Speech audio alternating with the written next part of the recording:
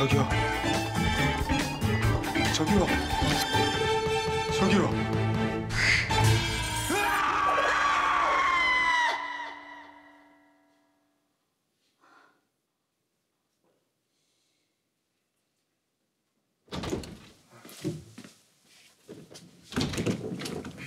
자, 이거라도 좀 얹어봐.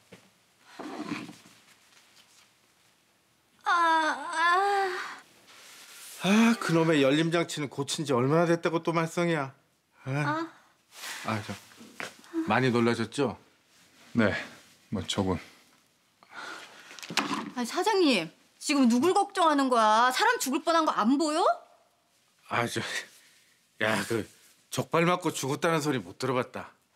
족발이 아니라 무기라니까. 깡깡하게 얼어서 돌덩이보다 더 딱딱한 걸 이 대갈방에 내가 두고 정통으로 던졌으니 살인 미수지 그게. 살인 미수라니 이거 정당 방위입니다. 정당 방위? 네, 생명의 위험을 느껴서 본능적으로 저지른 행동이란 말입니다. 이, 이 인간이 뭐래? 내가 뭘?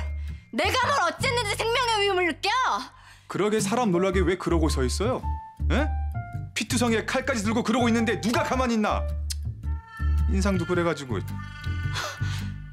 내 인상이 뭐? 내 인상이 왜? 누가 봐도 사이코패스 아닙니까? 사, 사이코패스? 사람 막 아무나 죽이는 그런 사이코패스? 야! 내가 사이코패스면 넌 그냥 사이코야, 개사이코! 이게 얼어 죽을 뻔한 걸 살려줬더니 뭐가 어쩌고 어째? 그래, 너 오늘 잘 걸렸다. 다시 들어가자. 넌 오늘 냉동인간 되고 난 사이코패스 될란다! 아, 이거 이거 나가 나. 아, 놓고 얘기해. 놓고 얘기하라고. 에? 보세요, 아주 폭력적인 거. 야, 누가 누구 보고 폭력적이래! 저 양반 건드리면 안 돼. 눈치가 없어. 눈치가. 나중에 연락 주세요.